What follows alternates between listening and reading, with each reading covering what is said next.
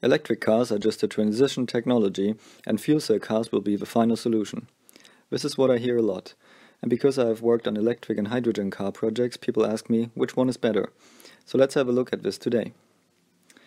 What do we need for an electric drivetrain?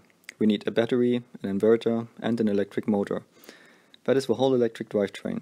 The battery needs to be huge for decent capacity, and the electric motor sits right on the axle it's driving.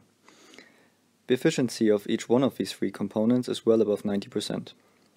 As we know from our phones, the battery capacity is decreasing over lifetime, but even then the battery still works. It just does not perform as well as it did when it was new, but it's not broken. A battery is a chemical storage, so there are no moving parts, no friction, all stationary parts. The inverter is converting DC to AC to drive the electric motor, and has no moving parts either. The electric motor is running smoothly and is brushless, so the only friction we have here is within the bearings. So basically there is not much that can break or needs to be replaced. And that is a problem for traditional car makers. Their current business model earns them a lot of money with spare parts over the lifetime of a car. A cam belt, for example, costs the manufacturer 8 euro, but they are selling it for 80 euro to the customer and call it genuine spare part. And that is the same for all spare parts. Now, a normal combustion engine car regularly needs an oil change, spark plugs, new filters, cam belt, clutch, brakes, and so on. But what do you regularly need for an electric car? Nothing of the above, except a new interior filter if you want. There's no cam belt, no clutch, and the brakes last for a lifetime because you only need them for emergency braking. And it's not only the commercial side at the workshop that becomes a problem. A future with simpler drivetrains also means higher risk of new competitors coming up. Traditional car makers employ thousands of people to develop all these components, but what do you do with them if the drivetrain becomes much simpler? The solution is the hydrogen car.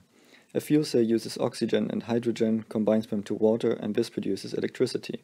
It's perfect for stationary use, where the energy demand stays the same all the time, but not for a dynamic environment like a car, where you accelerate and brake all the time. So, in a car, you need a battery between fuel cell and electric motor. So you end up with the same drivetrain like an electric car with battery, inverter, electric motor, and on top of that you need a fuel cell, hydrogen tanks, a compressor to push more oxygen into the fuel cell, an air filter for that, and a humidifier to keep the air moist.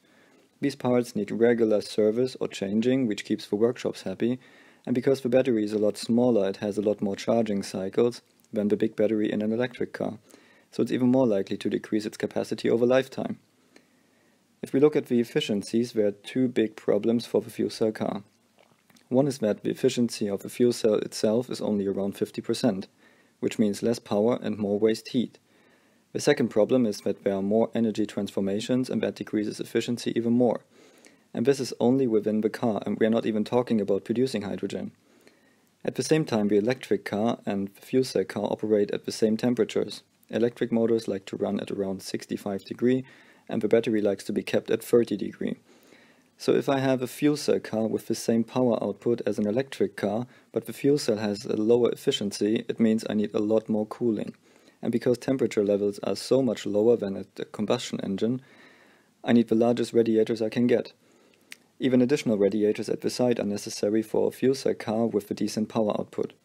That also means that I need the biggest air intakes I can get and that results in higher drag.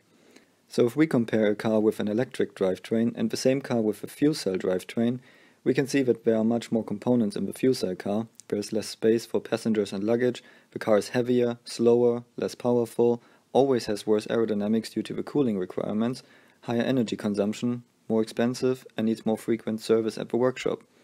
Another aspect is the fuel itself. Today everybody can generate and store their own electricity. It's simple, clean, it works. But no one can produce and store their own fuel or hydrogen at home. Hydrogen is stored at 700 bar inside the car, so you need around 1000 bar to refuel it, which needs loads of energy and makes the whole process very inefficient. And the customer will stay dependent on fuel stations.